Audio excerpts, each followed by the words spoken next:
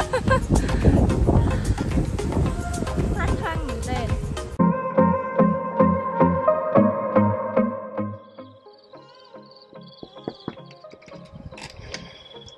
ួស្តីបងប្អូនគ្នា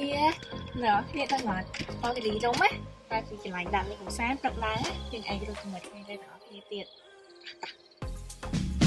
Wicked flag.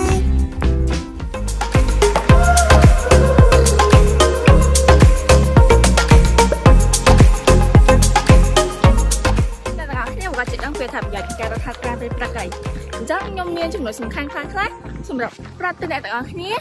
បន្ថែមអំពីការរត់ហាត់ប្រាណពេលព្រឹកហើយចំណុចសំខាន់សំខាន់នោះមានដូចជាទី1ការរត់ហាត់ប្រាណពេលព្រឹកគឺជួយអឺរំលាយអាហារដែលយើងញ៉ាំប្រយោគរបៀបយើងញ៉ាំច្រើនអញ្ចឹងវាជួយរំលាយអាហារហ្នឹងទៅសម្រួលដល់កាពះពោះវេអ្នកទាំងអស់គ្នាហើយមួយទៀតវាជួយដល់សុខភាពនិយាយថាអ្នកទាំងអស់គ្នាចង់បានសុខភាពរឹងមាំអីចឹងហើយឥឡូវហ្នឹងខ្ញុំកំពុងទៅនៅវីគរីរំ អ្នកដែលទាំងអស់គ្នាបានដឹងហើយថាវាគឺជាកន្លែងរមណីយដ្ឋានធម្មជាតិដែលអាចឲ្យអ្នកទាំងអស់គ្នារត់ហាត់ប្រាណហើយជាឆ្ងាយពី COVID ទៀតផងអ្នកទាំងអស់គ្នាគិតមើលមើលបើសិនជាអ្នកទាំងអស់គ្នាទៅជីមណាអ្នកទាំងអស់គ្នាប្រកាសជាត្រូវប៉ះពាល់នៅសម្ភារៈជីមផ្សេងផ្សេងប៉ុន្តែអ្នកទាំងអស់គ្នាមកវីគរីរំណាគឺសោះស្រាយអញ្ចឹងហ្មងតោះ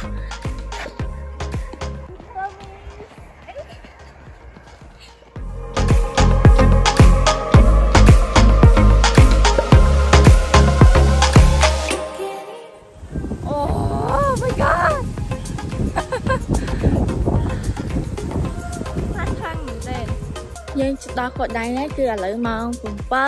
17នាទីហើយមុននឹងនិយាយពីថាខ្យល់ណាត្រជាក់ហ្មងចេញមកខ្យល់ត្រជាក់ហើយស្រស់ស្រាយហ្មងធ្វើឲ្យអ្នកទាំងអស់គ្នាអឺនិយាយទៅបើសិនជាអ្នកទាំងអស់គ្នានៅហត់ក្នុងការធ្វើការ stress មករត់លេងមកដឹងតើ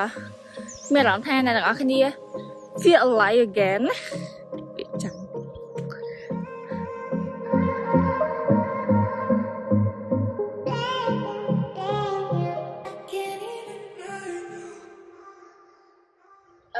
ទាំងអស់គ្នាឥឡូវនេះខ្ញុំបានមកដល់កន្លែងដែលខ្ញុំចង់មកអីគឺកោដដៅរបស់ខ្ញុំបានសិតមកគឺនៅ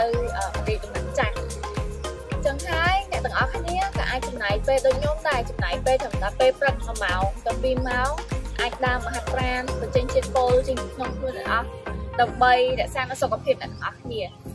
ហើយមួយទៀតកន្លែងដែលស័ក្តិសមបំផុតសម្រាប់អ្នកស្រឡាញ់ធម្មជាតិឬក៏អ្នកចូលចិត្តរត់ហាត់ប្រាណនេះអញ្ចឹងអ្នកទាំងអស់គ្នាអាចមក វីគិរីដុំផែនរីសតគឺជាកន្លែងដែលមានអឺដើមឈើជាច្រើនជុំវិញហើយអាកាសធាតុគឺ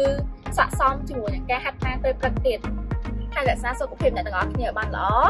សូមអរគុណសម្រាប់ការទស្សនាតាំងពីដើមរហូតដល់ចប់ហើយកុំភ្លេចចុច like subscribe និង share វីដេអូទាំងនេះផងអរគុណបាយបាយឈប់សិនអ្នកទាំងអស់គ្នាកុំភ្លេចជួបគ្នានៅវីដេអូក្រោយណា